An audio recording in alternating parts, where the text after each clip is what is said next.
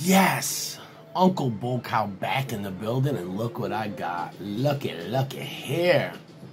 A fresh pod. And that's a beauty. You guys know I love yellow pods, and you know I also love pods that I've never tried before.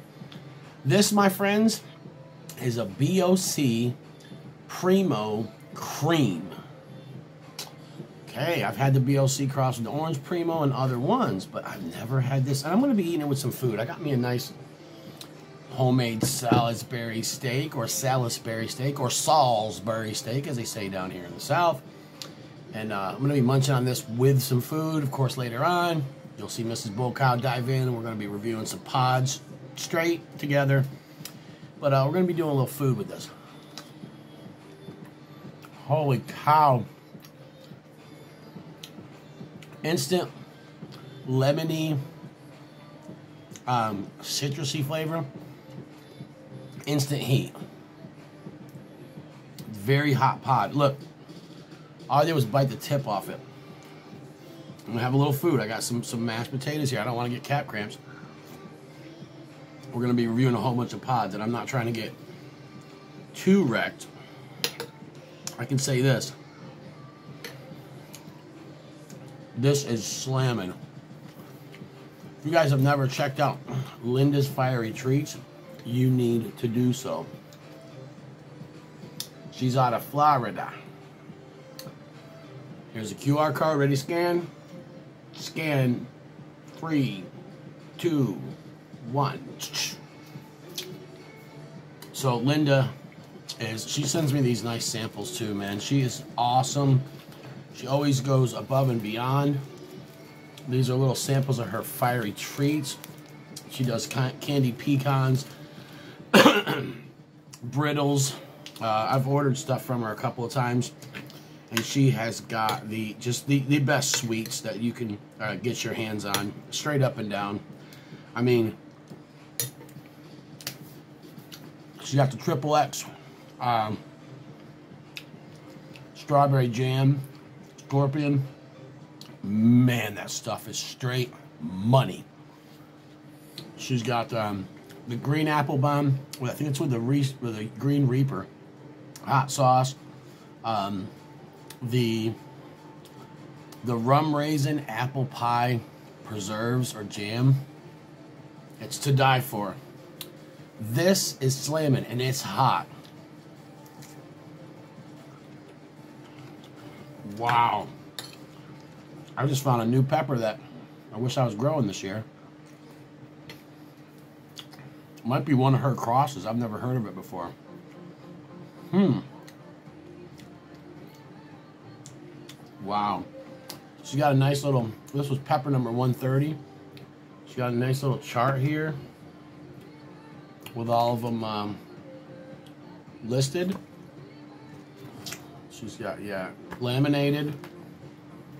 She knows what she's doing. Actually, I got the first box of pods this season from her. Yeah. It's the advantages of living in Florida. Disadvantages, gators, super hot weather, even longer. But she's got pods and I don't, so I counted my plants today. I have 57 of my own plants scattered about. My growing partners have, one has 36, I think 36 or 38. One has 200.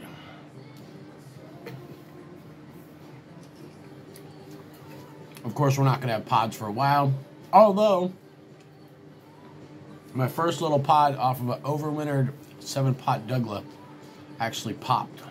Um, so I can't say I don't have pods. I have one pod. This is ridiculously awesome.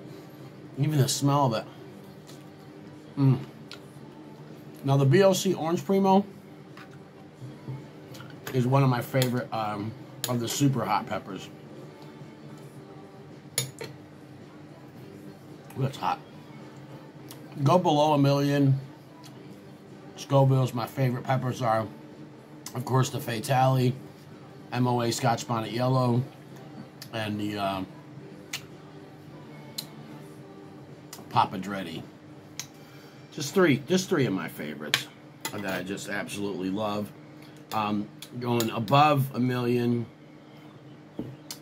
BOC Orange Primo all day.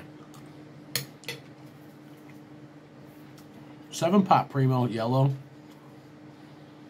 I don't know where that is on the Scoville scale, but another one of my favorites.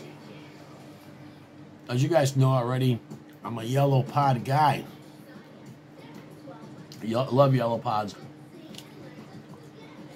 They're my favorite. That is unique right there. It's got a citrusy to it that you don't get in many yellow pods. A um, little bit of floral, but it's hot. I'm sweating right now.